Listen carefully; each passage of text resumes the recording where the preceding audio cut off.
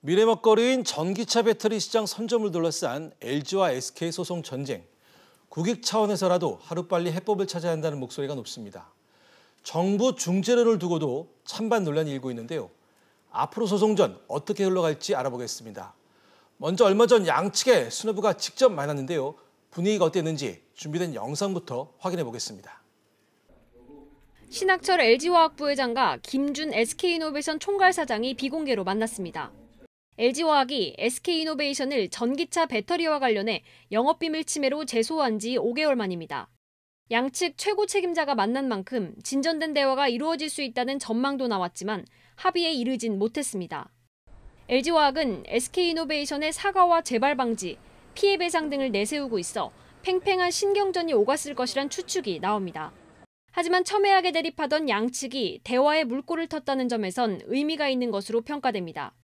양측은 모두 이번 회동에서 두 회사 CEO가 진정성 있는 대화를 나눴다고 밝힌 가운데 SK 이노베이션 측은 앞으로 대화를 통한 해결 노력을 지속할 것이라는 점을 강조했습니다.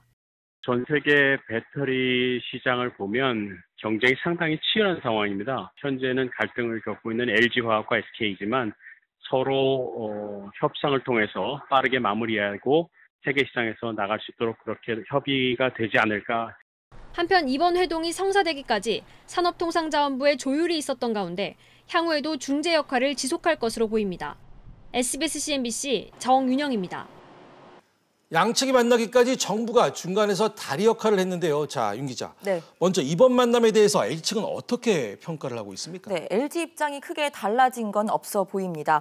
LG는 한결같이 SK가 기술을 뺏어가서 본 이득과 또 LG가 입은 피해를 보상을 하지 않으면 화해할 생각이 없다는 뜻을 내비쳤는데요. 예. 애초에 LG는 이번 만남을 원하지 않았고 다소 떠밀리다시피 나왔다는 얘기도 들립니다.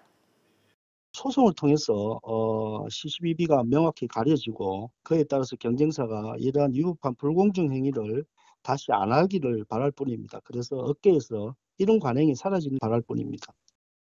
자, 그럼 SK 측은 뭐라고 하고 있습니까? 네, 오히려 SK는 회동 다음 날 또다시 LG를 향해 날을 세웠습니다.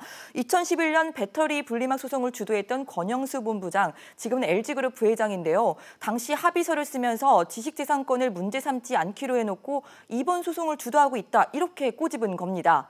또 LG의 지속적인 보상안 요구에 대해서 LG화학이 선사과 재발 방지, 손해배상 등을 대화의 전제 조건으로 내세우는 것이 대화 거부의 명분이 아니 길 바란다. 이렇게 밝혔습니다.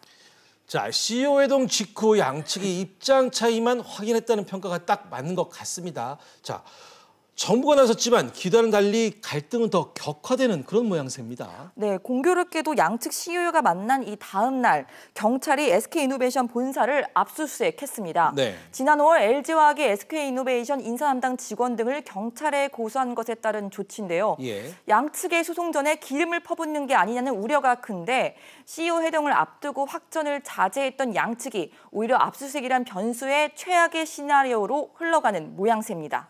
그렇군요. 자, 특히나 그 LG 측의 입장이 상당히 강경한데 결국 타협이나 협상은 물 건너 갔다고 그렇게 봐야 되는 것 아닌가 싶습니다. 네, 그런 모양새도 볼 수 있겠습니다. 네. 오히려 LG의 줄 소송이 이어질 것 같습니다. 실제 LG는 SK가 맞불 작전으로 제소했던 ITC 기술 특허 소송을 추가하는 방안을 검토 중인 것으로 확인됐습니다. 예. LG가 SK보다 가진 배터리 특허 기술 수가 15,000건 건 이상 많기 때문에 자신이 있다고 생각하겠죠. 아, 이외에도 법적 대응이 가능한 모든 소송을 준비 중입니다. 네. 결국 LG가 원하는 건 법정에서 시시비비를 가리는 것인데요.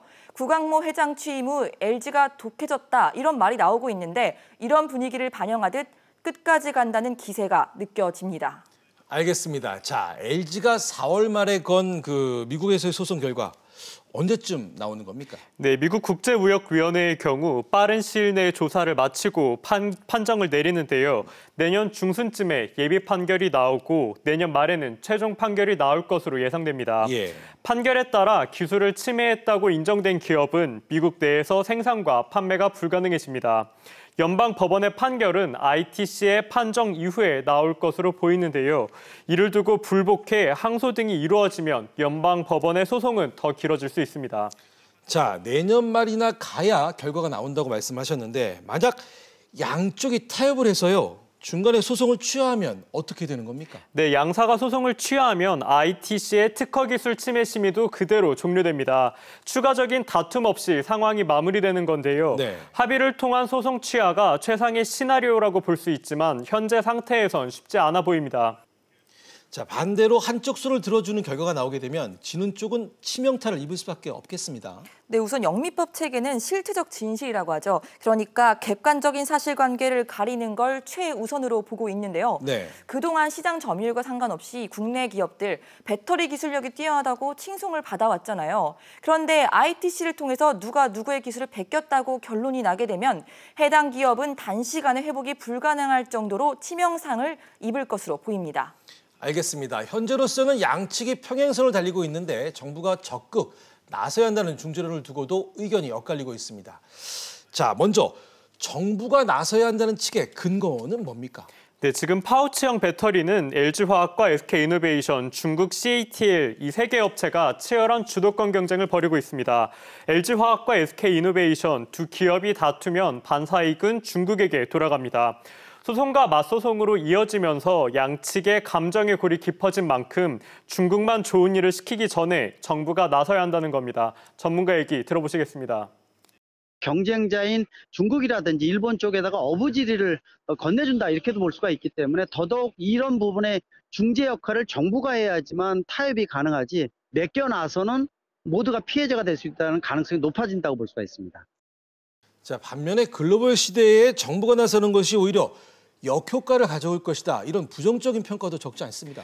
네, 정부, 정부의 중재가 국내 기업들과 중국뿐 아니라 해외 기업들과 소송전에 휘말렸을 때 역풍을 맞을 수 있다는 겁니다. 변호사 이야기 들어보시겠습니다.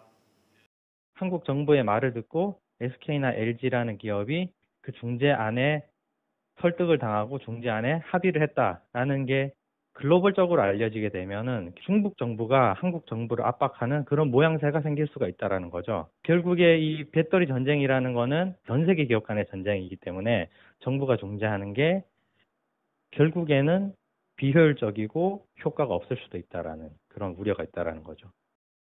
또 정부의 중재가 기업들의 자율성을 해친다는 지적이 나옵니다. 기술을 침해당한 기업은 제대로 된 보상을 받지 못해 기술 개발 의욕이 꺾일 수 있다는 우려의 목소리가 나옵니다. 일단 기업 입장에서 특허나 영업비밀 유출당하지 않기 위해서 제일 중요한 거는 직원을 빼앗기지가 않는 건데 이런 식으로 중재, 그러니까 사후에 이제 정부가 중재하는 일이 기준점이 돼버리면 문제가 생기면 금전적인 해결이나 중재안에 의한 해결을 도모하면 된다. 이렇게 생각할 수도 있다는 거죠. 사실 양측의 소송전을 두고 국익 훼손이라는 비판적인 여론이 우세합니다. 그래서 모두에게 부담일 텐데요.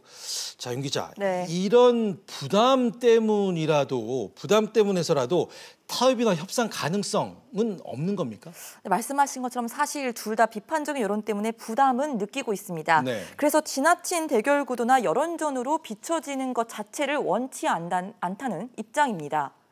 이런 분쟁이 그 득될 것이 별로 없다고 판단을 하고 있고 그래서 전향적으로 그 대화를 할 준비를 하고 있고 늘 노력을 많이 해왔었습니다. 앞으로 LG 측에서 대화에 응한다면 얼마든지 그 전향적으로 어, 결론을 낼 준비를 하고 있습니다. 단지 어, 경영사의 잘못된 행위에 대해서 먼저 선결 조건이 잘못을 인정하고 또 진정성 있는 사과 및 재발 방지를 약속한다면 저희는 언제든지 대화에 응할 것입니다. 그리고 이에 따라서 손해배상이나 이런 논의하는 문제는 차후의 문제라고 생각을 합니다. 하지만 협상이란 게 서로 이득이 되는 걸 주고받아야 하는데 겉으로는 대화하겠다지만 아직은 서로 입장 차이가 여전해서 타협이 힘들 것 같습니다. 정말 풀기 힘든 숙제지만 장기전은 두 기업이나 국가적으로도 엄청난 손실이 불가피한데요. 자, 윤성 기자. 오너인 최태원 구강모 회장이 직접 나서면 해결이 되지 않을까 싶은데 어떻습니까? 네, 2차 배터리가 미래 중요 먹거리인 만큼 어느 한쪽도 소송전에서 먼저 발을 빼기는 쉽지 않아 보입니다. 네. 그래서 두 그룹 총수가 나서서 실타래 마냥 얽힌 문제를 풀어야 한다는 이야기가 나옵니다.